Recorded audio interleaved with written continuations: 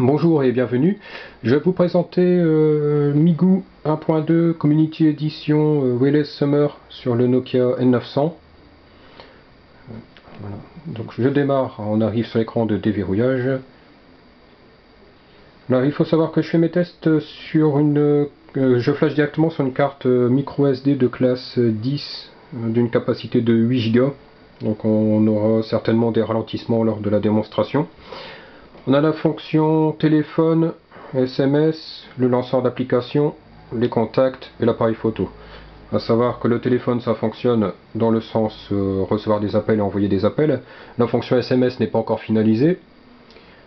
Les contacts euh, moitié finalisés. Et la caméra ça fonctionne mais ça ne gère pas encore euh, l'autofocus ou certaines fonctions de base on va lancer les applications. Donc on retrouve le navigateur internet qui est Firefox mobile, un terminal qui est assez complet comparable à celui de MyMo 5, les, réglages, paramètres, une application Périgine par défaut, donc euh, c'est pour euh, Gtalk, euh, tous des services. MED c'est réservé aux développeurs, on peut retrouver des paramètres comme les adresses IP, ainsi de suite. Package, donc là le gestionnaire de paquets n'est pas encore fonctionnel puisque les dépôts n'ont pas encore été créés d'après ce que j'ai pu comprendre. Ici certains widgets euh, si on veut prendre des captures d'écran, donc on passera sur des widgets. Des jeux, une calculatrice, un lecteur de news le calendrier, un autre raccourci pour un terminal.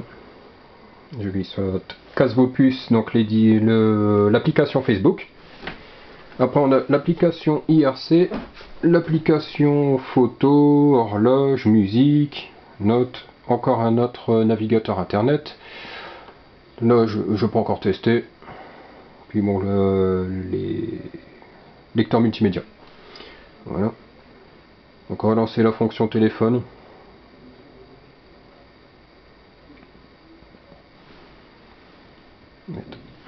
Voilà. Donc clavier complet. La fonction qui ça fonctionne, pas de souci. Hop. Je tape un numéro au hasard. Je raccroche. On cache le clavier, on remet. On veut ajouter un contact. Ah, peut-être pas encore finalisé non plus. Voilà. Ici, on revient là, on va tester le terminal.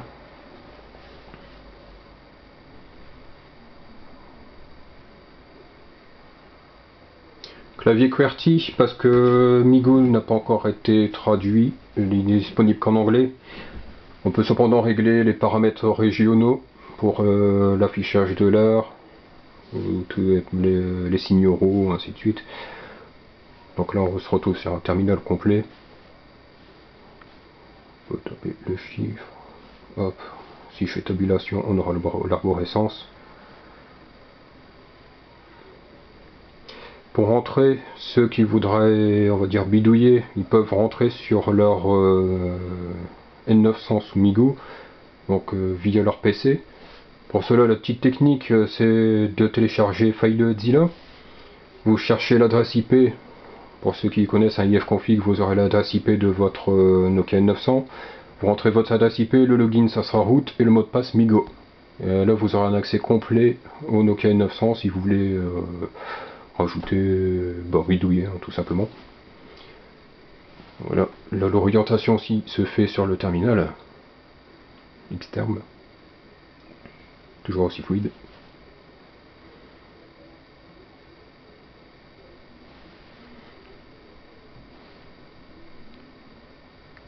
on revient sur le bureau, donc lui aussi orientable.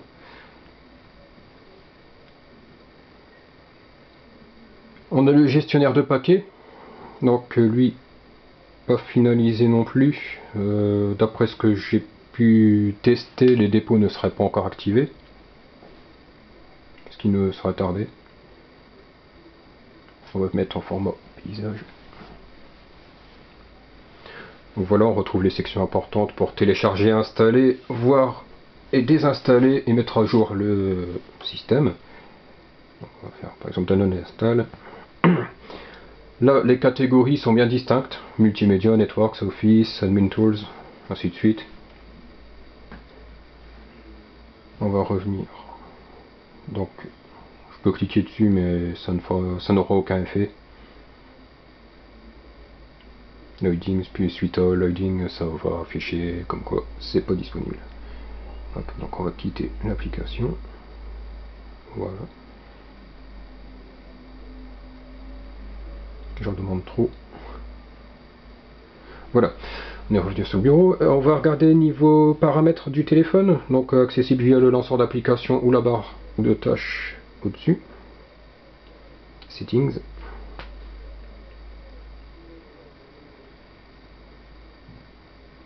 Donc on retrouve les connexions. On peut régler.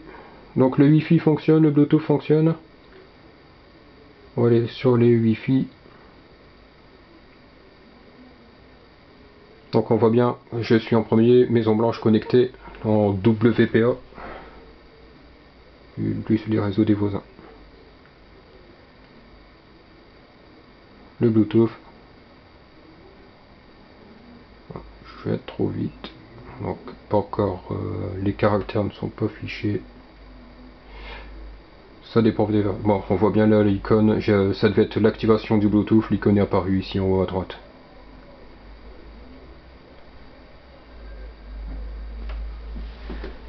Donc après, euh, application, on va passer puisqu'il n'y a pas rien d'intéressant.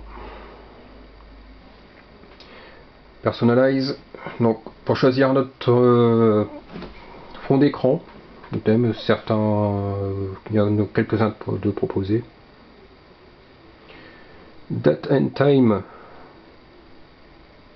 Donc ici, ça sera le format. J'ai réglé déjà sur le format européen, comme on peut voir l'heure qui est sur 24 heures. De date et de l'heure. Réglé sur Paris. On descend le keyboard et les accessoires. À propos du périphérique, donc on se retrouve sur euh, une version de Migo, donc bien 1.2 mais pas finalisé.